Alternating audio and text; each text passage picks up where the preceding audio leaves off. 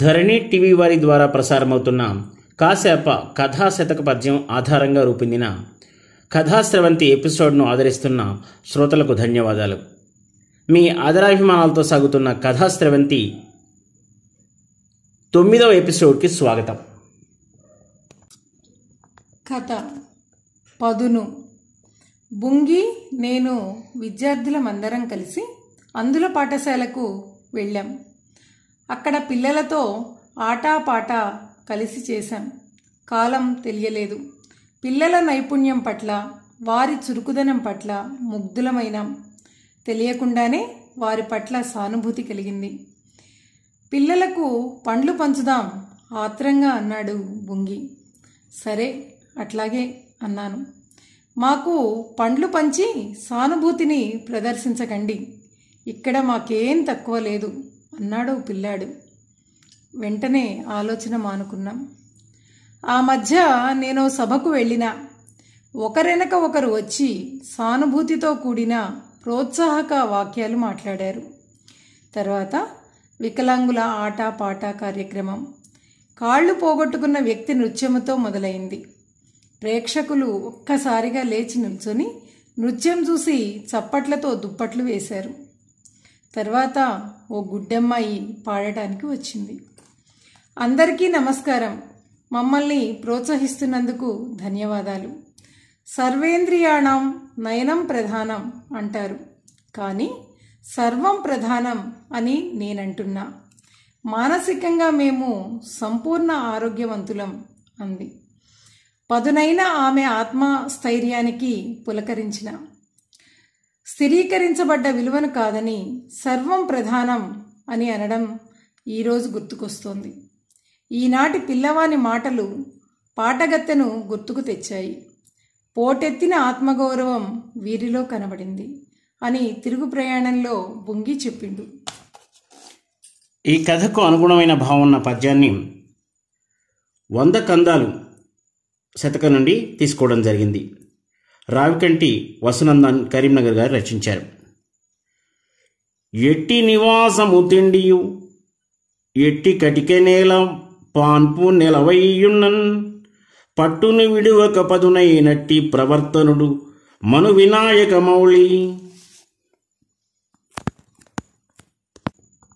కథ నిజము. ఎన్నడూ లేంది సినిమాకి వెళ్దామని బుంగి పిలుపునిచ్చిండు.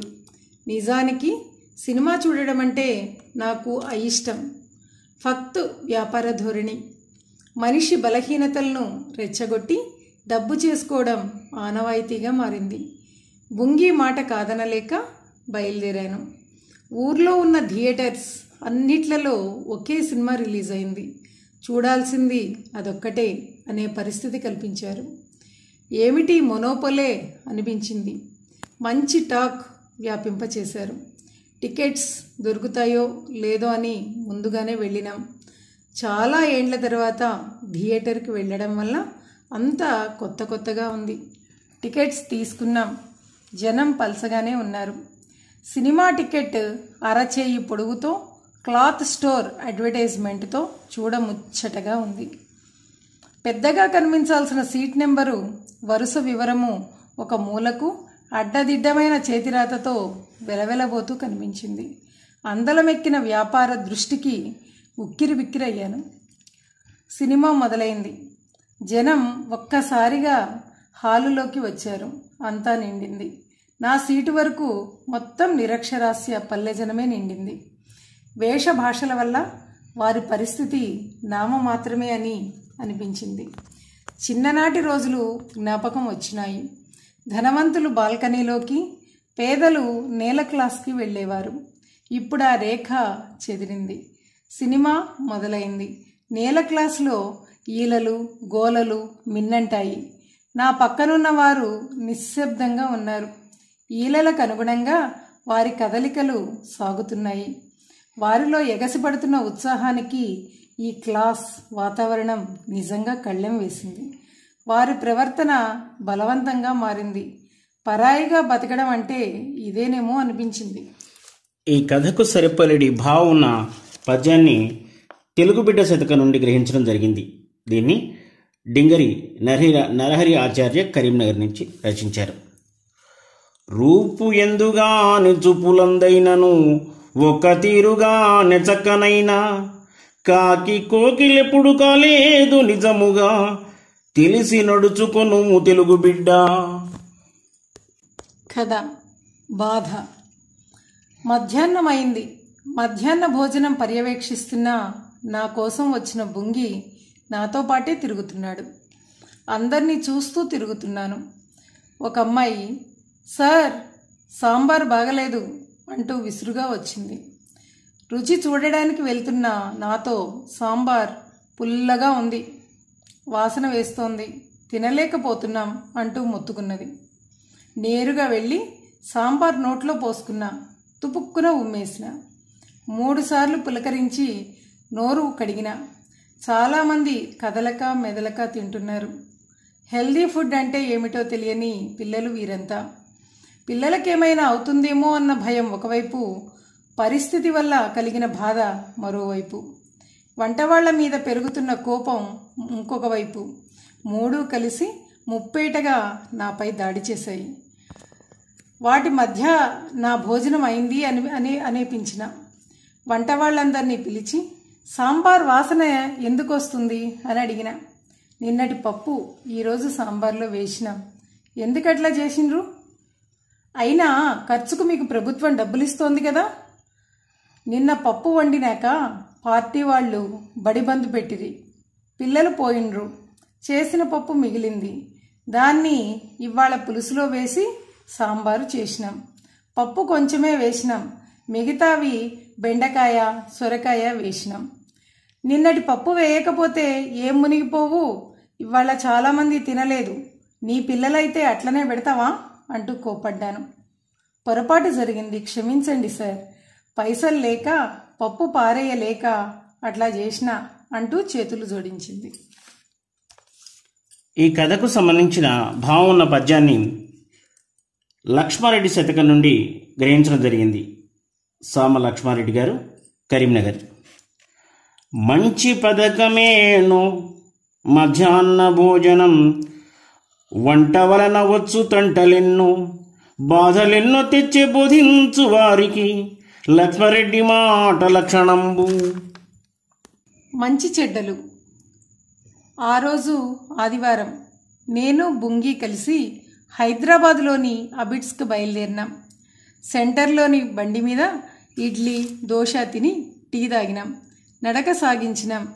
దొంతర్లు దొంతర్లుగా పేర్చి ఉన్న పాత ఇంగ్లీష్ తెలుగు పుస్తకాలు వాసనలు మమ్మల్ని ఆహ్వానించినాయి. అన్నీ కొనమంటున్నాయి. కానీ టైటిల్స్ చూసుకుంటూ ముందుకు వెళ్ళిన. ముఖ్యంగా పాత పుస్తకాలపైనే నా కన్ను. ఒకటి రెండు రేర్ బుక్స్ దొరికినాయి. కడుపు నిండింది. కానీ పుస్తక దాహం ఇంకా తీరలేదు. నాటి పుస్తకాల ముఖ చిత్రాలు చూస్తుంటే కంటి నిండా చల్లదనం వ్యాపించింది. నన్ను నేను మరచి వాటిని చూసుకుంటూ స్పృశిస్తూ నడిచిన. కావలసిన వాటి కోసం వేట సాగించిన. అనుకోని ఆత్మీయులు కంటబడితే కొనుక్కుంటూ బ్యాగ్లో వేసుకున్నా. ముందున్న జ్ఞాన ప్రపంచం నా అజ్ఞానాన్ని కొలిచి ముందు ఉంచిందా అనిపించింది. నాతో వచ్చిన బుంగి ఎక్కడున్నాడో అని వెనక్కి చూసిన. చాలా దూరంలో ఉన్నాడు. నన్ను చూసి ఆగమన్నట్లు సైగ చేసిండు. ఆశ్చర్యం. బుంగి చేతిలో కూడా పుస్తకం ఉంది. రమ్మని గట్టిగా పిలిచిండు. వెళ్ళిన. అతని చేతిలోని పుస్తకం నా చేతిలోకి మారింది. అది నేను నా స్నేహితునికి బహుమతిగా ఇచ్చిన నా సొంత పుస్తకం. నా నోట మాట రాలేదు. ఉచితానికి విలువలు లేని రోజులివి. మంచి చెడ్డల గీత చెదిరిన రోజులివి అన్నాడు బుంగి. మాటలతో తిరిగి అబిట్స్లో తలదూర్చిన ఈ కథకు అనుగుణమైన భావం ఉన్న పద్యాన్ని శంకరప్ప పంచశతకం నుండి గ్రహించడం జరిగింది. దీన్ని డాక్టర్ బొద్దుల లక్ష్మయ్య గారు కరీంనగర్ నుంచి రచించారు. సత్ప్రవర్తనమున సతతంబుచరించి చెరించి తప్పును జయము పుగలుగు. చేసినట్టి మంచి చెడ్డగా మరును. శ్రద్ధతోడవినుము శంకరప్ప. కథ పగ. శ్రీవారి సేవకు వెళ్దామా? అడిగిండు బొంగి. మనల్ని ఎవరు తీసుకెళ్తారు? అరేంజ్మెంట్స్ నేను చూస్తా. ఎట్లా? ఏమైనా డబ్బులు ఖర్చు అవుతుందా కాలేజీ పిల్లలు వెళ్తున్నారు. వాళ్ళతో కలిసి కేర్ టేకర్గా వెళ్దాం. నీ ఇష్టం. నాకేం అభ్యంతరం లేదు. శరణ ఘోషతో ముందుకు సాగుతున్నాం. సేవలో అందిస్తున్నాం. వేసుకున్న డ్రెస్ కోడ్ మేమెవరమో తెలియజేస్తుంది. వాతావరణం చేస్తున్న పని కొత్తవి కావడంతో బాగా ఉత్సాహంగానే ఉంది. బారులు తీరిన భక్తులకు నీరు పాలు ఆహారం అందించడం మా పని. విసుగు విరామం లేకుండా పనిచేస్తున్నాం. మమ్మల్ని గమనిస్తున్న వారిలో నుంచి ఒకరు నా వద్దకు వచ్చారు. ఏ ఊరండి మీది? అన్నారు. కరీంనగర్. వీళ్ళంతా ఎవరు? మా విద్యార్థులు. ఈ వయసు వాళ్ళకెందుకు సార్ ఈ సేవ? నీకెందుకయ్యా ఆ విషయం? కోపంగా. మీలాంటి వాళ్ళ వల్ల మాకు నష్టం కలుగుతోంది. అదెట్లా? ఇప్పుడు మీరు చేస్తున్న పనిని మేము చేసేవాళ్ళం. ఏది? స్పష్టంగా చెప్పు.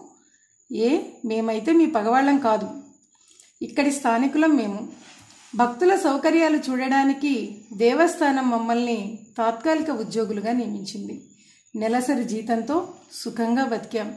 ఇటీవల కొన్ని సంస్థలు శ్రీవారి సేవ పేరున భక్తులను పంపుతున్నవి. మా పనులన్నీ వారు చేస్తున్నారు. దాంతో అధికారులు మమ్మల్ని విధుల నుంచి తొలగించారు. ఇప్పుడు మేము భుక్తిపోయిన భక్తుల్లాగా మిగిలిపోయాం అంటూ నిట్టూర్చిండు. ఈ కథకు సరిపోలేని భావం ఉన్న పద్యాన్ని యోగివేమన శతకం నుండి రచించడం జరిగింది. దాన్ని నా రోజు రాజమౌళి గారు రచించారు కరీంనగర్. ప్రగతిని బాసిన వారల పగవారనుభావమున్న పరిపాటగున పగవాడెవ్వడుగాడిలా పగనెన్నని వానికెప్పుడు పుడమి నివేమా ధరణి టి- for watching this video. Please like, share and subscribe to Dharani TV.